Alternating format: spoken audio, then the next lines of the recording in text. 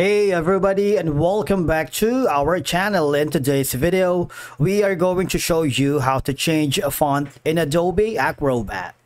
Let's begin. Now, the first thing that you need to do is to log in using your credentials. If this is your first time in Adobe Acrobat, I want you to click the sign up option.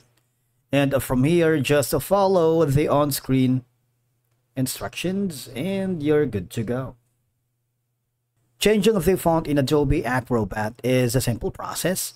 For example, you are typing a new font. All right, so for example, we're going to put in a text here. We're going to add type text. Obviously, we're going to make it white so it's a lot easier for us to see. All right, so the text is going to be this.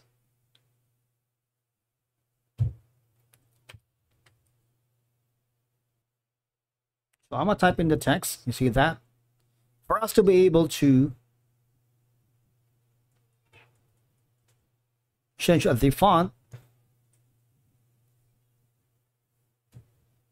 all we have to do is highlight the text that we wanted to change and in the left side panel of your dashboard click on the edit text you see you can choose from any of the following font style from adobe arabic for example to BellMT you see that? Or maybe you can hover to a different um, font uh, style. Say for example Cambria. And of course you can also have the option to make it big and have a different font color as well. So these are basically the easiest way for you to change the font style right? Now for example you wanted to add a comment and you wanted to change the font right here there isn't much of an option if you want to change the uh, font style if you're putting in a comment all right because if you go here you see you don't have any much option. Go to the properties if you want but you see kind of like it's limited right? See that?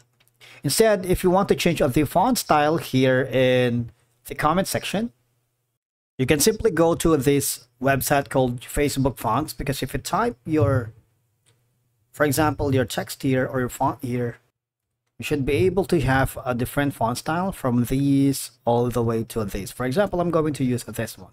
Copy that and switch over to Adobe Acrobat and from there paste it.